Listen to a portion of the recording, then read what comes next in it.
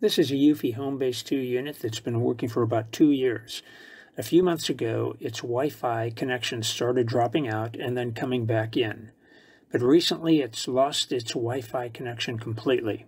I wanted to find out if the unit would still work using the Ethernet cable. I started by resetting it to its original state. To do this, both the power adapter and the Ethernet cable must first be connected. Using the small reset pin that came with the unit, press and hold the reset button until a recorded voice is heard. Home base is resetting. Next, I simply follow the Eufy app instructions to add the home base and a camera back to the system and set up the components for test. It turned out that everything worked fine, so all I really needed was a longer Ethernet cable.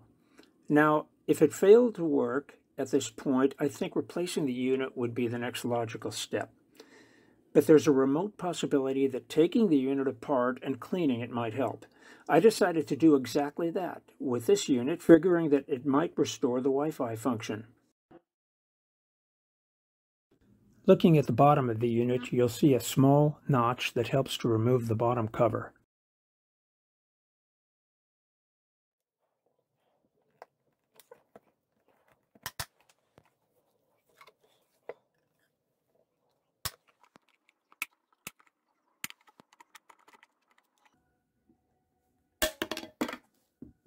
The round component in the middle is the speaker cone. Tape some cardboard over it to prevent damage. I did not do this and was very lucky not to damage it. The enclosure is held together with four recessed screws. Use a number zero Phillips screwdriver.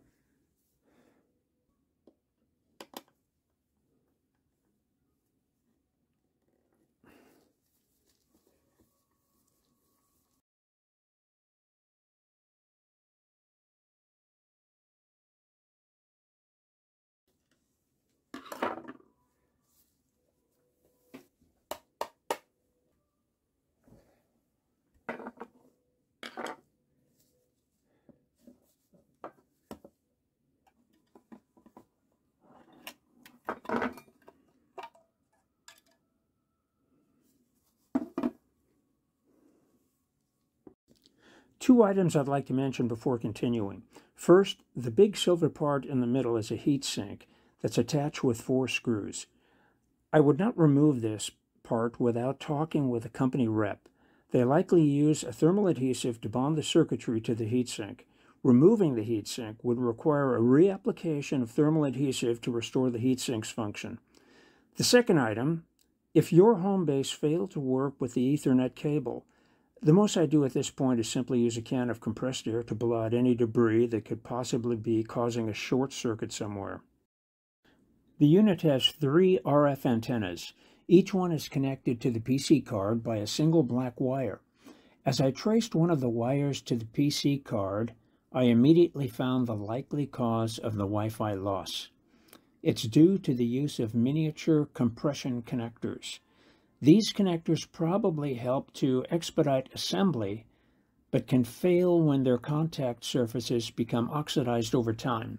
I used a common electrical contact cleaner to break through the oxide buildup. I'm starting with the front connector. The connector swivels on its mounting pin, so I'll just work it back and forth a couple times. That takes care of the rear antenna. Now the side antenna connectors are not easy to get to. So those antennas will have to come off first. We'll do the left side next. Use a double zero Phillips screwdriver to remove one screw. The screwdriver is from a jeweler's screwdriver kit, about 5 or $10 on Amazon. When removing the antenna, be careful not to put too much tension on the wire. Swivel the connector a small amount in each direction by alternately pushing it, then gently pulling on the antenna. A couple times should be enough.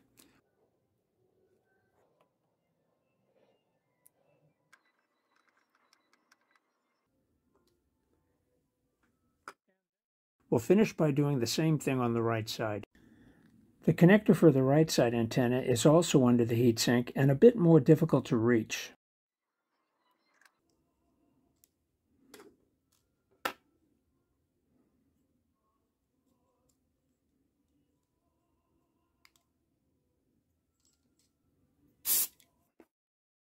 but we can still swivel it by gently wiggling the antenna wire by itself.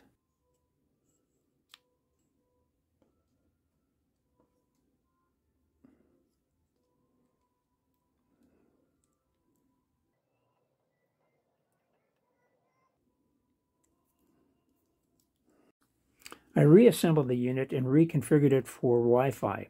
I tested it by setting it up downstairs in the garage at a line of sight distance of more than 40 feet from the router and it worked fine, even passing through four walls and a floor.